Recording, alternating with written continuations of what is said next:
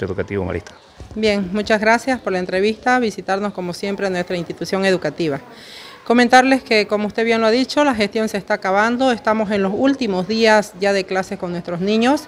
En estos momentos se está haciendo una actividad semipresencial solamente evaluativa. El avance terminó, eh, no porque la programación se hubiera terminado en sí, porque nosotros hemos llegado a un 85%, entre 85% y 90% del avance de lo que es la gestión.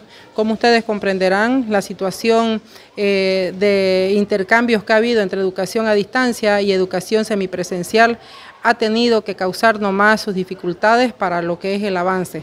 Nosotros consideramos que no se tiene que avanzar por avanzar, se tiene que dejar cimientos en los niños para poder continuar con contenidos eh, que van más arriba. Entonces ello nos hizo detenernos, pues la educación a distancia nunca va a ser igual que la educación presencial porque mm, carece de objetividad, de veracidad muchas veces. Entonces, cuando los niños volvían al colegio veíamos que no se estaba reflejando al 100% lo que podíamos ver en la plataforma.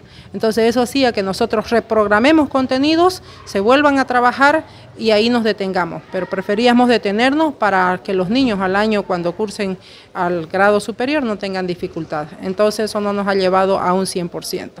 Por otro lado, eh, esta semana eh, son las evaluaciones finales, los niños que tienen pendientes, trabajos, tareas, eh, ahora lo, lo, están haciendo en estos momentos, donde vienen en dos grupos, dan sus pruebas, entregan sus trabajos y vuelven a la casa. También como una manera de preservar la salud de los niños, ya que la pandemia continúa, sigue su cauce.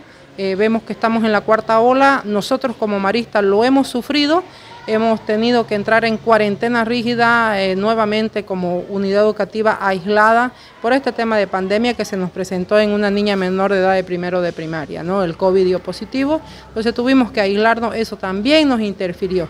Pero con todo, creo que ha sido un año positivo. Este fin de semana, eh, perdón, siguiente fin de semana atendemos la clausura del, nivel inicial, el, el sábado 4 y también la despedida de los niños de sexto, entonces que son los que cursan a secundaria y dejan el nivel primario. Como actividades finales tendríamos esos, luego el día 30 de noviembre estamos entregando boletines de notas a los padres de familia, aclarando que estas notas no son introductorias todavía al sistema.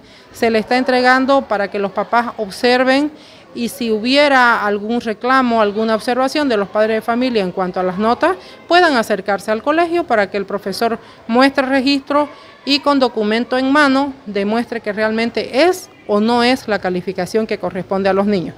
Estamos haciendo esto para que después, una vez las notas estén introducidas en sistema, no hayan observaciones tardías.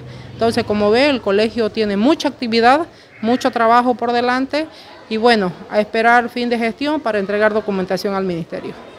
¿Alguna recomendación para los alumnos, para los padres de familia en estos últimos días, directora? Para mí, como digo, eh, difícil es querer correr a la meta cuando ya, ya se la cruzó. ¿No? Entonces, los últimas, las últimas evaluaciones que estén al pendiente de los chicos, pero sobre todo, eh, los temas que trabajaron este año, sería muy bueno que las lecturas complementarias sigan practicando en casa porque venimos de un año con muy bajo nivel de educación 2020. 2021 un poco más. Entonces, Puede que al año 2022 hayan sus afectaciones, sus problemas en estos niños que han tenido vacíos educativos por las circunstancias que todos conocemos. Entonces no está de más que en la vacación se practique mucho la lectura en casa, se practique mucha la comprensión lectora, el cálculo, las tablas, manejándolas y que los niños mm, vuelvan al colegio eh, en buenas condiciones y no nos pase como este año que hemos sufrido mucho con los profesores, recapitulando y recapitulando contenidos para no avanzar con muchos vacíos y lagunas en el conocimiento de los estudiantes.